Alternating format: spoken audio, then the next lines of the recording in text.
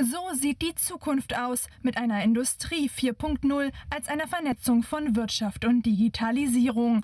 Aber wenn Arbeitsprozesse immer automatisierter werden, entstehen auch neue Gefahren für Unternehmen. Genau hier setzt der Sicherheitstag 2016 in der Kalkscheune in Berlin an. Information durch Prävention. Wir wollen Unternehmen, Sicherheitsverantwortliche informieren über Risiken, über Bedrohungen.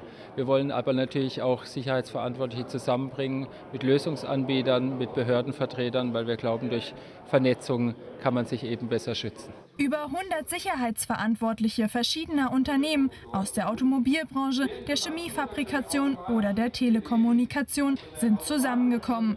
Sie wollen über den globalen Megatrend Digitalisierung diskutieren. Industrie 4.0 sind fantastische Möglichkeiten und ich denke, das ist auch wichtig, dass wir Sicherheitsverantwortliche das Thema nicht blocken, das Thema nicht verlangsamen, sondern eben diese Entwicklung auch aktiv mitbegleiten und unterstützen und damit eben sicher machen.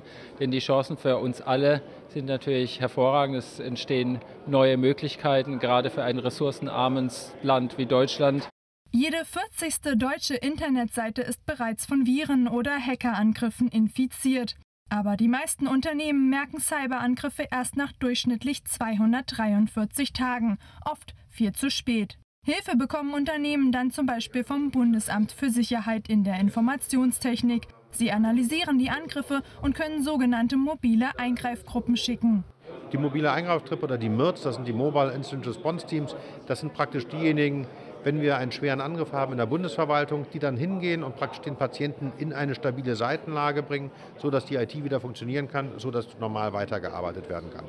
Angriffe erfolgen oft durch Spam-Mails, Links oder durch die eigenen Mitarbeiter, weiß Jens Krikan der liebe Kollege in der IT-Abteilung, der die Beförderung nicht bekommt äh, und denkt, boah, jetzt ist mein ehemaliger Kollege mein Chef, den mag ich eigentlich gar nicht. Äh, und genau deshalb kündige ich jetzt. Und ich hinterlasse noch ein kleines Abschiedsgeschenk, nämlich ein Virus auf den Systemen. Das kann der sein, es kann aber auch der Mitarbeiter sein, der einfach versehentlich eine Datei löscht, eine Datei verschickt, verändert, was auch immer, was dann zu Auswirkungen führen kann. Und Arne Schönbohm hat noch einen Tipp für einfachen Schutz.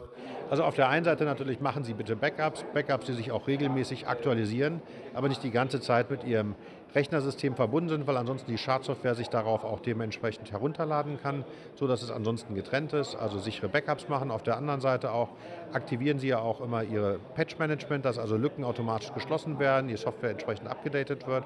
Ein Backup für den Datenfluss und der ist gewaltig. Was die Menschheit in den letzten 2000 Jahren als Daten produziert hat, wird heute im Zeitalter der Smartphones und sozialen Netzwerke an einem einzigen Tag produziert. Aber neben Informationsschutz muss auch ein Schutz vor Maschinen und Robotern entwickelt werden. Denn die werden immer intelligenter programmiert, warnt Buchautor Ulrich Eberl.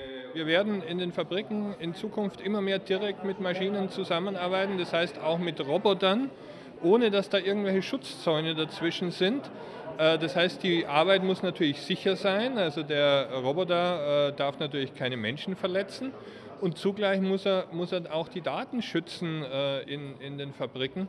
Das Leben im Jahr 2050 stellt sich der Autor so vor. Also ich denke, dass wir 2050 in einer Gemeinschaft zwischen Menschen und smarten Maschinen leben werden. Die smarten Maschinen werden für uns so selbstverständlich sein wie heute die Smartphones. Jeder hat heute ein Smartphone dabei. In Zukunft werden wir ganz selbstverständlich mit solchen ähm, intelligenten oder halbintelligenten Maschinen umgehen. Ein Schutz vor Cyberangriffen könnten sogenannte Cyberversicherungen bieten. In Amerika schon geläufig bieten sie hier erst einzelne Versicherungsunternehmen an, wie die Allianz.